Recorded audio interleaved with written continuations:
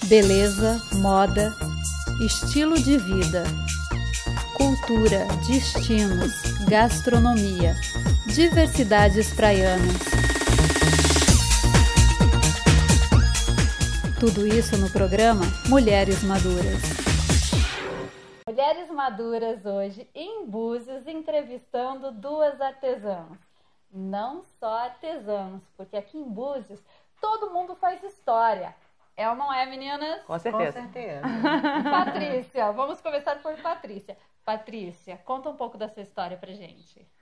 Ah, olha, é, a minha história é bem diferente. Não tão diferente para quem leciona, porque eu sou professora de história, né? É, me apaixonei por história por meu pai ser historiador também.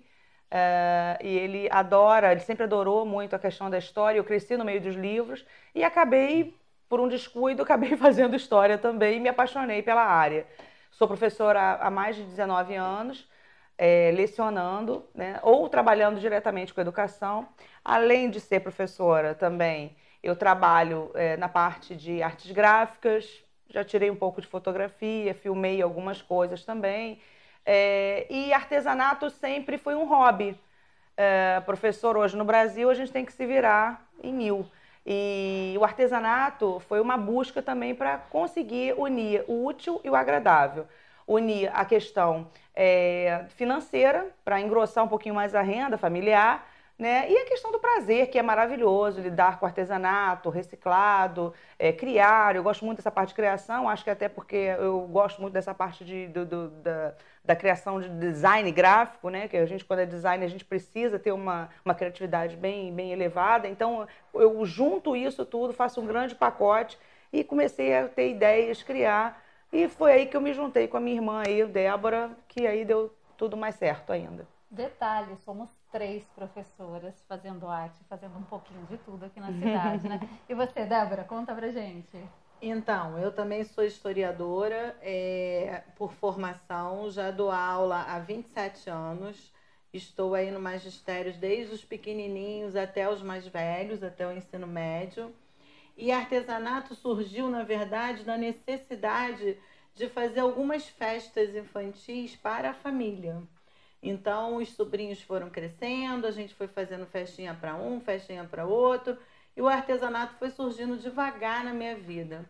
Até que tomou conta dessa vez, né, também por uma questão de associar aí, é, a necessidade financeira, de ampliar a renda familiar, como também uma necessidade terapêutica. Porque quando você se envolve numa peça de artesanato, você acaba esquecendo do mundo. Né? O poder da criação é um poder divino, onde você envolve aí todos os sentidos que o ser humano tem, todas as habilidades. E aí foi nesse sentido que eu comecei a criar as minhas peças, desenvolvendo todos os sentidos e ampliando aí a necessidade da questão da renda familiar. Deu super certo. Hoje a gente faz parte de um projeto em armação dos búzios, que é o projeto da Feira Nordestina, que acontece todos os domingos, né, aqui na Rasa, e a gente expõe o nosso material é diversão, é lazer e é fonte de renda. E a gente fala muito de escola, né? Que professor acaba tendo mil e uma utilidades, tendo mil e uma é, funções. Mas a gente também não consegue largar uma sala de aula, né? Não, não conseguimos largar a sala de aula. É, o artesanato ele entra nas horas vagas, né? O, o, a fonte básica nossa é o ensino, é a educação.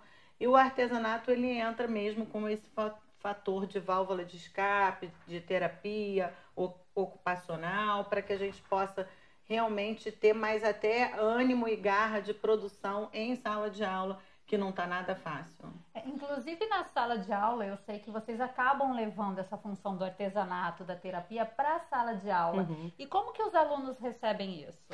Ah, super bem, né? É porque as aulas lúdicas, né? Você levar a criação para dentro de sala e, e a gente que gosta de trabalhar com artesanato, isso ajuda também numa aula de história, construção de um feudo, por exemplo, é, e outras mais, de uma caravela. Então, isso é bacana, porque você traz o, o artesanato, você traz a coisa lúdica para dentro de sala que os alunos pouco, pouco têm é, noção de como seja feito. Então você está ali, se envolve. É, é, o prazer é duplo, né? O prazer é a questão do ensino e também a questão da montagem, de estar tá com eles ali, ensinando também essa outra parte que a gente tanto gosta. E o aluno, quando a gente fala que a gente vai montar alguma coisa, a primeira reação deles é: ai, tem que trazer material. Uhum. Mas depois do processo pronto, quando ele pega uma peça que ele produziu, fala pra gente, Débora, como é olhar para esse aluno, os olhinhos deles brilhando, dele brilhando, né? Porque produziu aquilo. É maravilhoso, não é? É maravilhoso, é gratificante. Eles se sentem proprietários daquela, daquela fabricação, daquele objeto. Né? Existe até momentos de competição para ver quem fez melhor, quem se desempenhou mais na, na peça. Então, assim, o aprendizado ele fica significativo. Ele não fica estanque e ele não fica memorial. Né? Ele vai para o resto da vida. É uma coisa que o aluno nunca mais vai esquecer. Então, assim, é, seja no campo da, da arte plástica, artes cênicas, seja na, na questão do artesanato pura e simplesmente, seja na questão da música, da poesia, se você cria e se ele faz parte do ato da criação, isso vai ficar marcado na vida dele para sempre. É, infelizmente, no nosso país, a arte ainda não é tão valorizada, mas a arte ela transforma, ela muda totalmente a educação das crianças e dos adultos também. As pessoas que têm um envolvimento com a arte, elas conseguem ver o mundo de outra forma, ver as pessoas de outra forma, não é? E me diz uma coisa, meninas, da onde surgiu Santa Chita? Quem vai explicar? Bem, é, o nome Santa Chita foi decidido entre eu e Débora, né? É, essa questão da chita, né, muito brasileira, a questão da chita, esse pano maravilhoso, tão antigo, mas que é tão rico de cores, de alegria. E como nós somos duas pessoas, graças a Deus, muito alegres e a gente expande a alegria onde a gente passa, a gente está sempre demonstrando sermos muito alegres. E essa questão da chita, ela demonstra essa, essa alegria na, na parte de criação. É, a questão da santa é, foi pela questão também até da própria religião, da religiosidade. Né? Não religião específica, mas que a gente possa é, demonstrar é, com, por exemplo, é, a parte de santos, né? A gente trabalha um pouco com imagens é, sacras, é, Nossa Senhora, é, temos o São Francisco de Assis é, e outras mais e outras mais imagens, dependendo até por encomenda e tal, a gente faz. Então, eu acho que essa questão da santa, porque a, a chita na mão do artesão é santa porque você cria peças maravilhosas, né? tecidos riquíssimos em cores. Então você cria é, coisas tão lindas de um tecido tão barato, né? um tecido é, que tem uma, um valor muito pequeno, é, mas cria peças maravilhosas. Por isso que é santo. É santo você criar uma coisa tão, tão rica. Né? Então a gente tentou misturar essa questão da cor, da, da, da valorização desse tecido tão, tão rico e tão brasileiro. E Débora, qual foi a primeira peça que vocês criaram? Você lembra? Lembro. É, a primeira peça criada pela Patrícia foi a questão dos cactos e dos santos, né? Foram as primeiras peças dela. E as minhas primeiras peças estão ligadas às bonecas. Então, assim, é, o bom é que juntou o útil ao agradável, porque o juntou o ar mais sóbrio nordestino, a característica mais marcante nas peças da Patrícia né, através dos cactos nordestinos, através da, da, da representação das imagens sacras, e aí tudo a ver com o nosso tema né, escolhido, e juntou com a questão da criancice, da, da, da, de ser peralta, de gostar de brincar, que foi através das, das criações das minhas bonecas e dos meus bonecos. Então, daí, é, a primeira peça criada pela Patrícia foi realmente Cactos e Santos, foram as primeiras, e as primeiras minhas foram as bonecas e os bonecos. E vocês já faziam a, as artes dos bonecos antes da Santa Chita? Como que bateu aquele estalo? Vamos criar o Santa Chita? É, eu, por exemplo, eu sempre, como Débora falou a questão de festas, é, eu, eu, também ficava muito metida em algumas festas e tal. Uma pessoa pedia, pô, tem como fazer isso, não sei o quê. E a gente tentava criar, né? Eu, pelo menos com a minha família, eu tentava criar alguma coisa, ou um presente, ou alguma coisa assim. É, e aí a, a questão da, da, de fazer uh, os cactos, de fazer uh, esses santos, eles foram criados mais por uma questão assim particular. Eu queria muito fazer para dar de presente. Né? Já que eu gosto muito dessa parte da criação, de fazer, do manuseio, então eu queria criar para dar de presente às pessoas. E a partir daí as pessoas eu falando, poxa, que legal, que bacana. Tem também nesse meio tempo a minha mãe, que também trabalha é, com essa questão da, da costura da, das peças. Ela até, ela até me ajuda, ela faz a parte mais da estrutura e eu faço mais a parte do acabamento. Né? Inclusive, minha irmã, quando casou, ela fez um, um boneco é, do, do Santo Antônio, que em vez de jogar o, o buquê, foi jogado o Santo Antônio. Que hoje é super em alta É super, né? exatamente. Né? A partir daí a gente também teve algumas encomendas, tivemos algumas encomendas. É, esse Santo Antônio. Então, quer dizer, a partir daí, a, partir das pessoas falando, olha que bacana, que bonito, que bem feito, e aí surgiu essa vontade realmente de fazer. E como a Débora falou a questão da feira nordestina, é, que para a gente foi um empurrão porque na verdade a feira é perto da nossa casa, faz parte do convívio social da Rasa, faz parte de Búzios. Então a gente nós mergulhamos de cabeça para entrar nesse, nessa, nessa questão de vamos produzir, vamos vender, vamos, vamos, vamos mostrar o que a gente sabe fazer também, além de lecionar. Aí foi mais ou menos isso. E tem tudo a ver, né? Tudo a ver. feira nordestina. Sem dúvida, tudo a ver. Vamos dar um break e voltamos já já com mais Débora e Patrícia e artesanato para hum. vocês. Lembrando que este programa tem o apoio de Aroma Shopping Parque Lagos.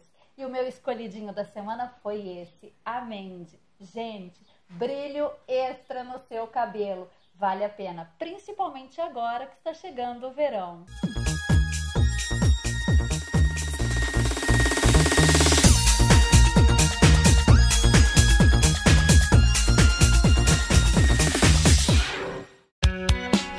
TV, a melhor programação para você.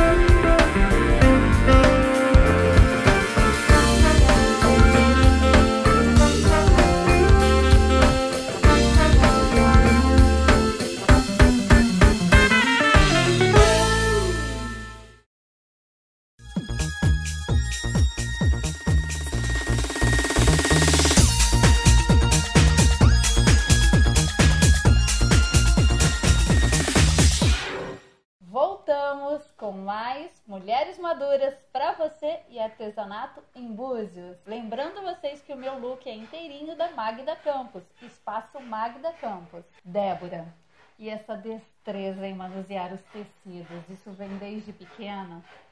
É, na verdade, vem desde a adolescência, né? É, quando eu era adolescente, eu costumava ver minha mãe costurar. Minha mãe já fazia costura para fora, ela atendia um público significativo da região onde a gente morava no Rio.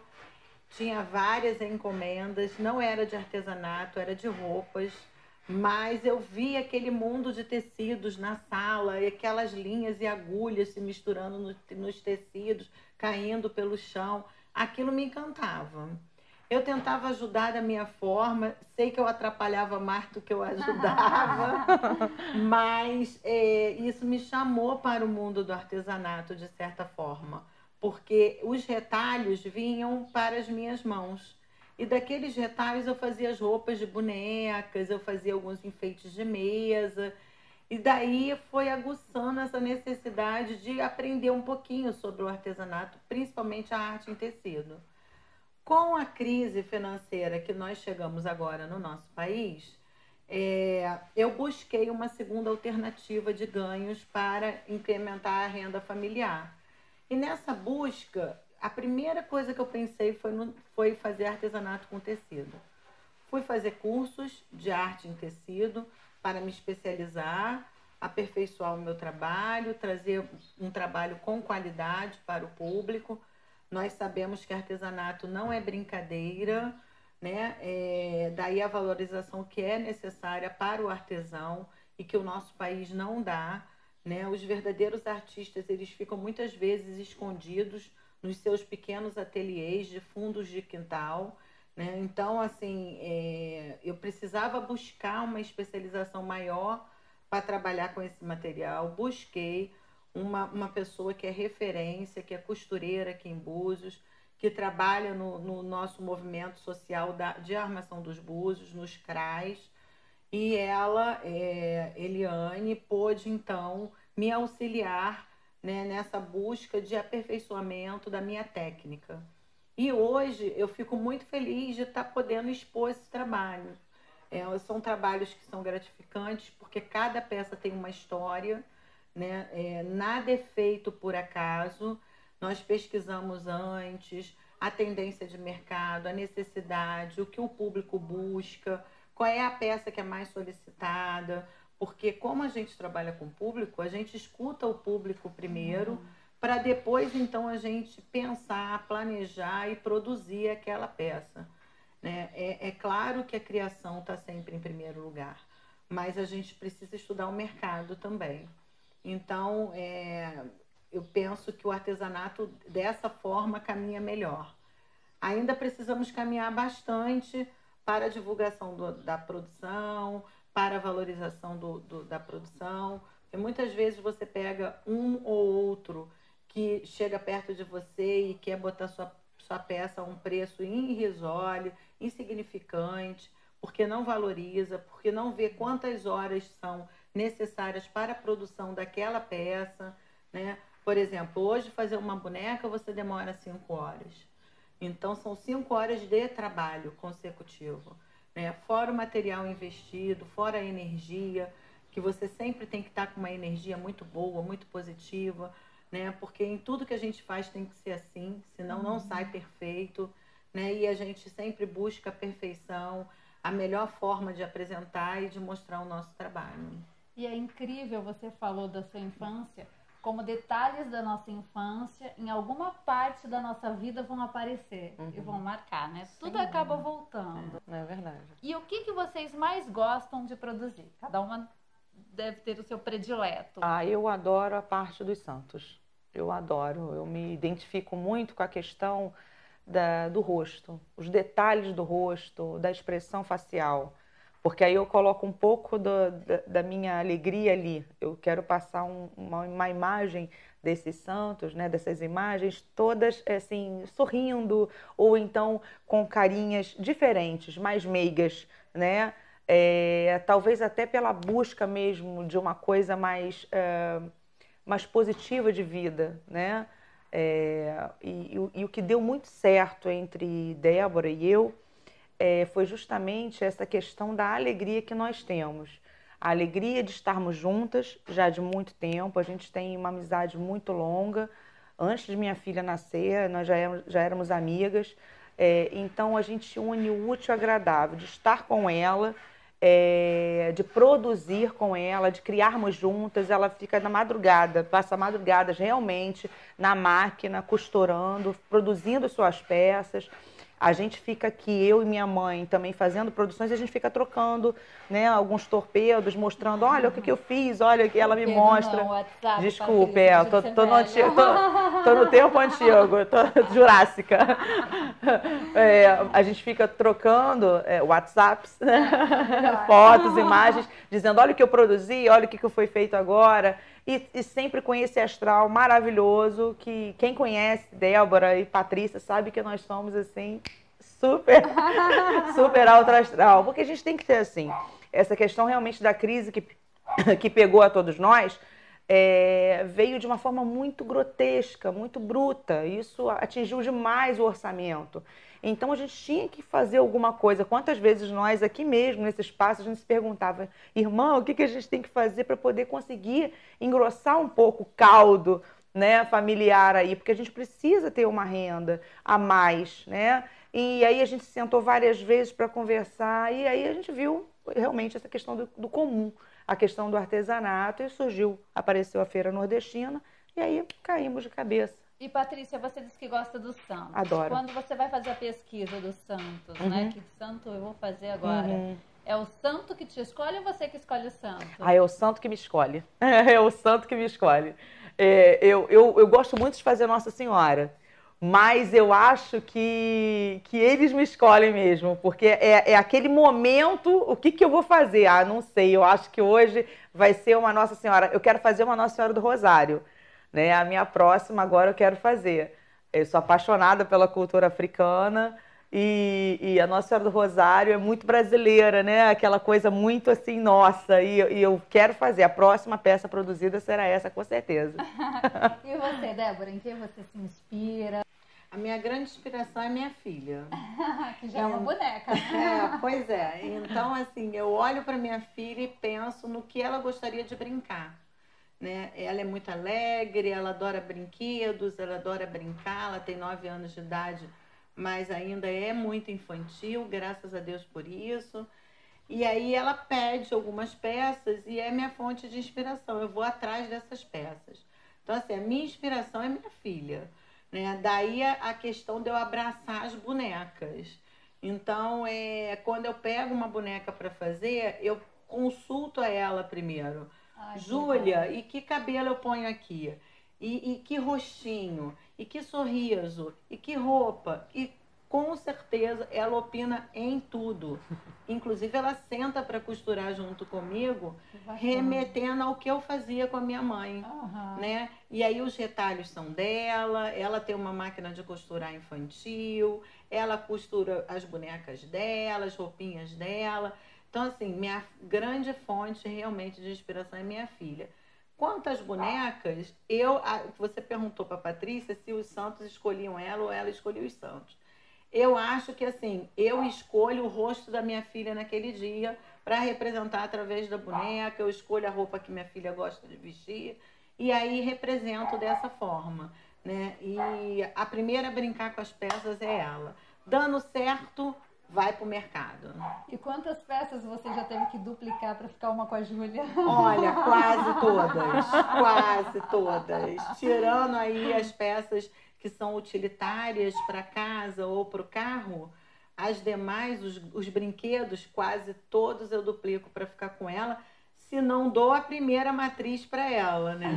Então existe esse caso também. E meninas, é, vocês estão aqui na feira, mas quem não é de Búzios, vocês vendem para todo o Brasil? Como que funciona? A gente tem o Instagram de Santa Chita, temos também o Facebook, né? Tem uma página do Facebook de Santa Chita, pode procurar lá que vocês vão encontrar, vocês vão encontrar. É, e aí aceitamos encomendas, é só entrar em contato com a gente, temos os nossos telefones também no próprio Face. É, é só entrar em contato com a gente que a gente produz a peça que você desejar. Para casamento, evento, qualquer tipo de evento, qualquer tipo qualquer de evento. tipo de evento. Uhum. E os cactos? Como que surgiram os cactos? Os cactos surgiram é, pela questão até da própria feira nordestina, né? Eu, eu sou apaixonada por cactos. Eu sou apaixonada, mesmo, mesmo é, eu não produzia assim em larga escala como produz agora para a feira nordestina, mas eu sou apaixonada. Eu acho que é, é, eles são muito maravilhosos, é, é, é muito mágico, eles são mágicos. E, e essa questão de, de utilizar a chita, o colorido, para uma, pra uma, é, uma planta né, é, que é tão simples, só espinho verde ou até meio amarronzada, vamos dar cor a isso, né? Uhum. Vamos, tra vamos trazer ele cada vez mais brasileirado, né? É, é, é mais nordestino ainda. Então juntamos a, a chita com, uh, com esse, a ideia do cactus, a produção desse cactus, né, é, para trazer vida para dentro de casa. Que cactus nada mais é do que vida. Né? Você abre e você sabe que é o centro dele e você tem, você tem é, um líquido ali dentro que mata a sede de quanta gente que fica até no deserto. Então, é, é, eu acho que é o símbolo da vida mesmo. E Nordeste tudo a ver, né? Cactus, Nordeste. Então, da, a partir daí, dessa questão da cor, de mostrar vida, trazer vida para dentro de casa, surgiu a ideia dos cactos. E eles ficam lindos, coloridos, né? É, ficam. E eu vejo também que tem peças que têm função, não só enfeite. Tem ali um porta-controle, vocês fazem também as necessárias, os estojinhos, não é, Débora? Isso, fazemos, fazemos utilitários, né, para casa, é, desde objetos que vão ter função em banheiro, sala, quartos, né, até objetos mais simples que servem como decoração desses mesmos ambientes. Então, nós trabalhamos com porta-lixeiras de carros, com necesséis, com porta-celular, porta-controle remoto. Isso tudo através da brincadeira, isso tudo através do lúdico, do colorido dos tecidos, através de, de brinquedos mesmos que se transformam em utilitários, né, para que as casas fiquem mais dinâmicas, mais coloridas, mais agradáveis e que nos remeta a essa época nossa de vida, que é essa época da infância, né, que é tão mágica para cada um de nós. E que hoje em dia a gente tem uma perda significativa dessa magia. As crianças cada vez mais se tornam jovens e adultos ainda em idade muito térrea. Né? Então a gente precisa resgatar esse, esse modo de ser e de brincar da criança de um tempo atrás. Né? Ser criança é muito bom. Então, é transformar os nossos ambientes em ambientes coloridos, aproximar né, é, um detalhe de um brinquedo a um utilitário, isso faz com que é, as nossas casas fiquem um pouco mais agradáveis de estar recebendo as nossas visitas, compartilhando com os nossos amigos e brincando com as nossas crianças. E detalhe, o Natal está chegando. Verdade. Tem presente para todo mundo. É, você falou da infância. Eu me lembro muito da minha infância de uns saquinhos. Não sei se vocês já fizeram algum resgate de brincadeiras com a Santa Chita eram saquinhos que a gente tinha que jogar para o alto. Eu não sei se era Três Marias. Três Marias. Três Marias. Três Vocês Marias. já fizeram? Não fizemos, não, mas de repente Olha, entrar até nessa parte de brincadeiras. não conhecem. Bacana, não conhecem. Eu guardo na memória até hoje, sentadinha na escola com as amigas. A minha avó costurava para mim. Eu não me lembro se era areia ou se era arroz, devia ser arroz. Arroz. Em São Paulo não tinha areia onde eu morava. então, é, ela costurava com arroz e a gente jogava. Tinha uma forma de jogar, é. de você jogar pro alto, saquinho. Ótima ideia. Ah, gostei. É. Vai ficar é, é verdade. maravilhoso. É né? verdade. Buscar realmente essa questão é, infantil, a brincadeira, já que nós temos bonecas. Né? Vir com essa questão das brincadeiras, eu acho legal, fazer um resgate. Uhum. Gostei da ideia, gostei. De repente, para a próxima produção. Opa, eu quero. e alguma história engraçada, alguma história bacana que marcou vocês? Algum cliente? teve um cliente que marcou a gente. Ah, lembrei. É, esse cliente é realmente uma história engraçada. Ele chegou à feira no final da feira. A feira já estava praticamente no horário de término. Ele, ele chegou com as roupas dele de trabalho, né? É, ele era marceneiro, então chegou com as roupas de trabalho e a gente imaginou que ele tivesse ido à feira exatamente só para consumir as comidas deliciosas que tem na feira e que são características do Nordeste.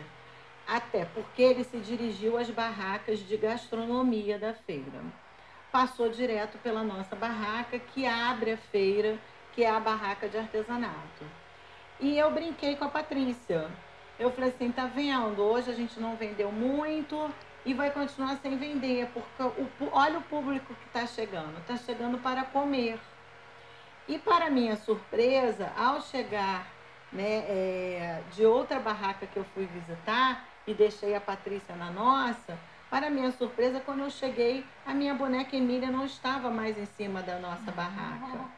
E aí eu perguntei para ela, cadê a Emília? Ela falou, acabei de vender para aquele rapaz que você disse que não compraria artesanato, que viria só para comer. Então eu achei, a gente morreu de rir na hora, porque realmente é, é aquele dito popular, né? É pagar com a língua. É verdade. Eu critiquei de alguma forma, de forma incorreta, fiz um comentário achando que ele iria consumir na gastronomia e quando acaba, ele não consumiu na gastronomia, levou a minha boneca Emília Tá vendo? Então foi um, um fato engraçado. É E verdade. a Emília é atemporal, né? É incrível É. como vão passando as gerações e a Emília sempre se apresenta de alguma forma, né? As pessoas sempre querem uma Emília, né? É verdade. Agora nós tivemos um espetáculo de balé maravilhoso de uma academia local, Adriano Labes. E nesse espetáculo foram feitas apresentações do sítio do Pica-Pau Amarelo. Nessas apresentações, 20 crianças dançaram com 20 Emílias produzidas pela Santa Chita. E elas adoram, né? Adoram. Nós tivemos, inclusive, outras encomendas. Porque nós vivemos praticamente a primeira geração da Emília, né? Do É verdade. do Pica-Pau, que era totalmente diferente da Emília de hoje. Com certeza. Mas as crianças ficam encantadas, até quando você passa os filmes mais antigos, É, né? é. A Emília realmente é um personagem que encanta, né? E sabe uma coisa que eu percebo nas crianças? É, ao pegar as bonecas de Débora, né, as bonecas produzidas pela Débora, elas se encantam. É porque eu acho que elas estão tão já é, é, envolvidas com essa questão dessas produções, dessas bonecas de plástico, né? Made in China, então já está muito assim. Então, quando eles pegam uma coisa produzida por uma pessoa que produziu manualmente, elas se encantam. E é justamente esse encantamento que a gente quer buscar, não só nas crianças, sim nas pessoas. E fica aí até um apelo, pessoal, Natal está chegando, vamos valorizar o trabalho manual, vamos valorizar o artesanato, principalmente o artesanato local. Temos pessoas maravilhosas, né, é, por Búzios toda, que, que trabalham com artesanato, trabalham muito bem, vamos valorizar, porque isso sim são peças que ficam, que têm personalidade, e vale a pena realmente investir nisso. E alguma surpresinha pro Natal? Vamos ter Papai Noel? Vamos ter Papai Noel, vamos ter Mamãe Noel, árvore natalina, boneco de neve com características de bonecos de surf de Uhum. praia. Uau! Vamos inverter aí os valores, já que a gente não está na neve, né? Já que a gente tem aí um complexo de praias maravilhosas. Então vai ter lá o boneco de neve segurando uma prancha de surf. Bacana! Vai ter lá é, os motivos natalinos, os nossos anjos, que é para compor exatamente os santos da, da Patrícia. Uhum. Vamos ter os anjinhos natalinos Uhum. e os anjinhos afrodescendentes, não Uhum. só os anjinhos branquinhos e rosados, porque a nossa terra é um caldeirão. Então, nessa multiplicidade né, de etnias, a gente também precisa representar isso no artesanato. Sem dúvida. É, Muitas teremos, novidades para o Natal. teremos presépios também. Vamos fazer, Opa! bolar um presépio É. bem bacana, guirlandas, bastante coisa legal. Então, estão todos convidados para conhecer os artesanatos da Débora e da Patrícia na Feira Nordestina em Búzios, ou pelo Instagram, Santa Chita, ou pelo Facebook. Santa Chita. Meninas, foi ótimo papo. Prazer, Vamos muito aquecer bom. as vendas para o Natal. Vamos, estamos juntos para isso. Com certeza. Ao som de Dora Latindo, os amigos construindo. E é isso aí, porque a gente faz arte em qualquer lugar. Fiquem ligados todas as semanas, Mulheres Maduras. Se você não tem canal 6, ricostv.net ou então pelo aplicativo da Google Play.